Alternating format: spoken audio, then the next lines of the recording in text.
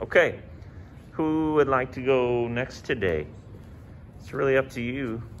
You want to go? Okay. Which? Question. Oh, you have a question. I noticed when Donnie, like, this isn't anything bad, but Yeah. like, because for Romeo and Juliet, 'cause that's what I would do when I was practicing, I wasn't sure when I noticed it wasn't just Donnie, it was also Tony as well.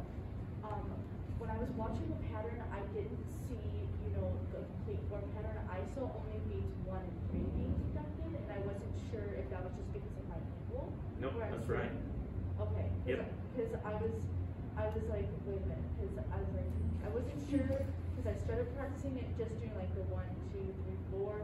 Because then I was like, wait a minute, I was like, then I watched and I was like, that's on one and three instead of what I was practicing, and so I was Yeah. like, Well, we, we talked about that in here. So who can explain why we would conduct on one and three? Or we would, we would conduct one, three, beginning, one, and three. Yes, Tony. Uh, it's melding or emphasizing the first and third beats of the measure instead of every beat. Sure. Anything else you want to add? Yeah. Kate? It's harder to, when I did this piece last week, it's really hard to emphasize where they need to be moving and to make those beats very clear and very big um, when you're just doing a straight four pattern. Um, that was a really big hindrance to me specifically because I did it in four four. I didn't know, um, and it was it was tough because I wasn't getting the kind of response that I wanted. Mhm. Okay. Yeah. Kate. Um, You're it's not essentially being- just a prep into it. You're not actually like getting with the beat per se, but you're not like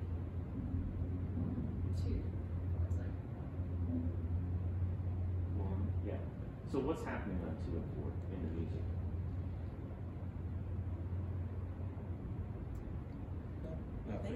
Yeah, it's Like, I hate the to same say it like exactly. that. So, so why, the question is, why would we conduct two and four when there's nothing going on? right. If there are quarter notes, I go one, two, three, four, but it's half notes, so one, three, one, three. Okay, that's kind of the concept is we, I call it general conducting, when someone just gets up and is just beating a pattern because that's what the time signature says. That's, that's a metronome, you know, that's not music, so, so there's, there's nothing wrong per se with connecting quarter notes if that's how you practice it. You know what I'm saying? There's nothing wrong with that. But musically, we I, I suggested doing one and three because it lends itself more to focusing on phrasing and focusing on what's actually there in the music. See, like I was gonna do Romeo and Juliet, but then I was afraid because of like me, I really struggle with my rhythm with baton, so I was afraid if I stop, if, like if I stop, that would throw me off and then the ensemble off hmm. because I'm not confident without doing it yet. Okay. Yeah. So that's why I Well, did and not like. Abby said, it's not like you're getting rid of two and four. You know, they're just the preps for one and three.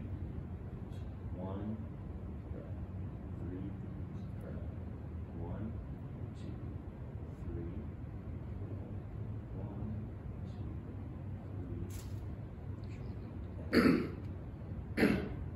Yeah, Donnie. That feels good. Um, think of like, for me, like, you know, like, you were marching, I think. Yes. Well, like, think of like halftime marching, where we kind of like subdivide with beats like two and four, and then just bring that like into conducting. So like one, two, three, four, one, two, three, four. Because then it feels more like Natural.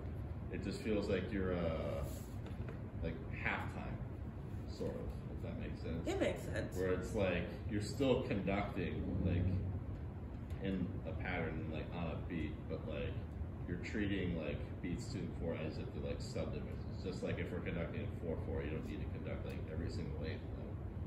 Good point. Good point. I don't know. So do you want to do it still, or do you want to? Yeah, I can do it too. Yes, you can. Let's do it. Yeah. Maybe next, maybe And Thursday also, I'll do Romeo and Juliet. I put this down by myself.